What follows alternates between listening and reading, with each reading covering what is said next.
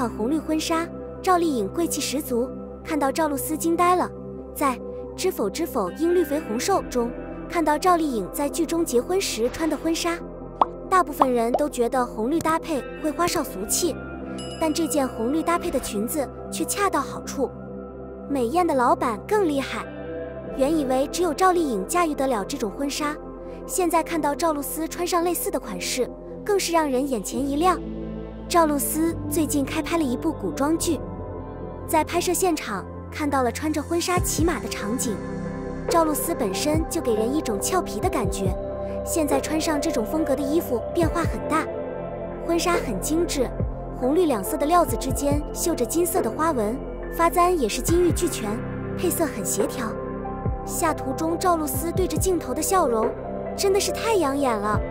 赵露思虽然有一张小圆脸，但是头套很高很大，所以脸衬也精致小巧很多。很多人都调侃赵丽颖穿这种端庄大气的款式很奢华，但是赵露思穿起来内衬简直是天赐良机。看完后你有什么感想？你们都喜欢赵露思和赵丽颖吗？九五后四小花榜正式出炉，赵露思得了第一，她得票最低。十一月三十日，全网关注的九五后四小花名单终于揭晓了最终结果。在本次九五后评选中，赵露思以百分之六十二点一四的综合推荐率获得第一名。很早之前，关于二零二二年四大女角名单的讨论就很多。网友纷纷预测，今年的女角名单一定会有自己的偶像。现在最终成绩正式出炉，相信一定是有喜有忧的。但不管结果如何，都是网友们精挑细选出来的。我相信这个结果是大多数人最满意的结果。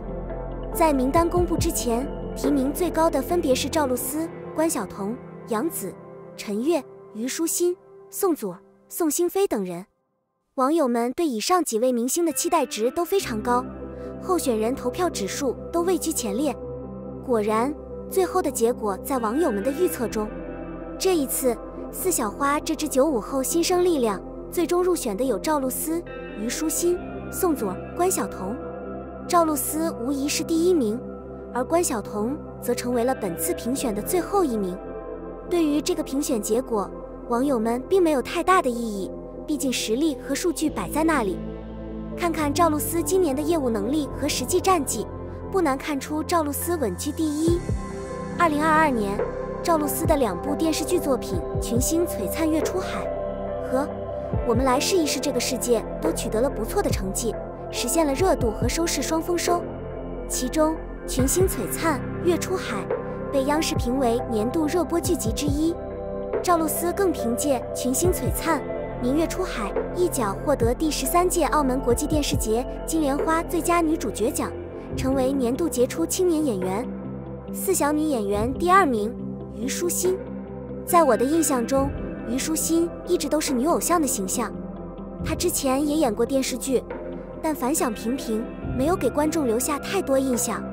今年凭借与王鹤棣合作的《苍兰诀》中的小兰花一角，让观众印象深刻。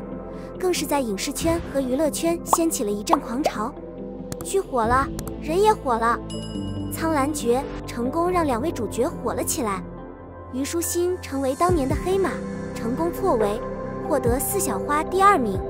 宋祖儿和关晓彤分别在《乔家儿女》和《二十不惑》中饰演乔思美和梁爽，并列四小星第三和第四名。精湛的演技让观众印象深刻。也获得了网友的认可，她是当之无愧的四小花旦之一。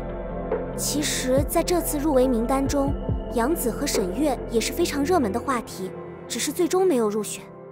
但是他们的作品和实力已经被网友们看到了，相信在接下来的四位小女性角色中，也会看到他们的名字。表演是演员的职业，演好作品是演员的天职，为影视事业的发展贡献一份力量。需要每一位演员的共同努力，每一个为影视事业做出贡献的演员，最终都会被网友看到，所有的付出都是值得的。期待未来四小花旦带来更多优秀的影视作品。二零一九年，赵露思的四部高甜网剧相继上映，强行霸屏一整年。二零一九年播出的电视剧还是挺多的，而作为网剧的杰出贡献者赵露思，今年仅她一人就有四部作品上映与观众见面，一直在吃甜的路上越走越远。因为赵露思的作品都是以甜着称的，除了其中一个，其实是一个很伤感的故事。首播的是王以伦主演的《最美的事》，这部剧本身也是一部火爆的网络小说，本身的书粉也很强大，再加上搞笑轻松的剧情，自然很受欢迎。最重要的是，这也是赵露思近年来少有的一部现代剧作品。剧中，王以伦饰演的叶舒薇一步步掌握了赵露思的套路，值得一看。二是徐凯、焦瑞等人主演的电影《蓝色生死恋》。这部剧原版其实挺虐的，可惜国产没拍好，关键男主不够好，不行，徐凯更帅，默默心疼徐凯这个弟弟，这样的颜值，最终还是没能得到女主的喜欢。而下一部就是李弘毅主演的《绿包传奇》，这部剧瞄准的是民国时代，也是赵露思的第一次尝试，这个题材也很新颖，有点玄幻的感觉。遗憾的是。李弘毅并不符合剧中的造型，颜值显得低了点。不过赵露思的水平还是不错的。终于，春花秋月才刚刚开始。这个节目的搭档是李弘毅。李弘毅在这仙子般的容貌下，有些让人无法阻挡。和吴君宇的男二相比，还是有差距的。总的来说，王以伦饰演的叶舒薇其实是最帅的。叶舒薇虽然一开始嘴巴有点大，但是越看越喜欢。这些美剧你看过几部？军艺校草只认识陈腾、杨洋，初代校草是老相识，胖了才走红。就像大家经常开玩笑的军艺校草，不管是刚拍完《王牌对王牌》的陈腾，客串《向往的生活》的沙溢，还是努力拍戏很少拍戏的人商杨洋，这三位应该是大众心目中家喻户晓的军艺校草代表。但其实这所学校的初代校草在观众心目中是个老熟人，但是他发胖后真的很受欢迎。洪建涛一开始就因为伤疤错过了贾宝玉这个角色，同时他还是个童星。他小时候还在《闪耀的红星》中采访过潘冬子，他也成功留下了厨艺班和《武林外传》中的经典角色，就像沙溢和陈腾这两位艺人。该节目正在争夺的喜剧演员，其实看杨洋现在的状态，他应该更放心一些。可能是舞蹈系毕业的缘故，杨洋对个人身材管理一直非常严格。他还会分享日常的运动打卡，个人自律和叮嘱大家不要发胖。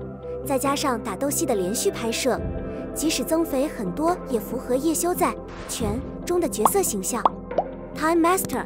拍完后，他还及时瘦回了宽肩细腰大长腿的状态，所以大家口中的军艺 F 四还是有门面的。各位观众，按照颜值巅峰期，你们觉得这四位谁更胜一筹呢？杨洋这个流量大佬的商业价值一落千丈，忙着代言，竟然用替身来毁人设。三十年河东，三十年河西，在竞争越来越激烈的娱乐圈，明星不进则退。即便是如今如日中天的大牌，如果再不积极行动起来，也难免会被糊涂，甚至被换掉。命运。近日，在第一财经发布的二零一七明星商业价值榜中，去年排名第十的演员杨洋，今年跌至第二十位。作为一个大流量，他的商业价值还不如老牌天王周杰伦和刘德华，甚至比不上易烊千玺这个比他还年轻的小鲜肉，着实让人意外。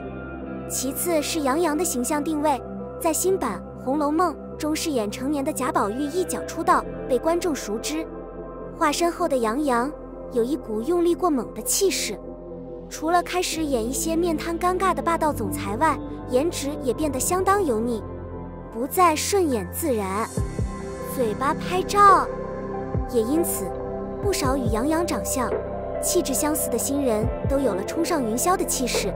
被网友戏称为“杨洋二点零”，首当其冲的当属一九九七年出生的小鲜肉邢昭林。去年因出演赵丽颖主演的古装剧《楚乔传》而被大家熟知，八皇子墨连城的人气非常高。通过韩国最大娱乐公司选秀的邢昭林，颜值非常高。二十岁的他身高将近一点九米。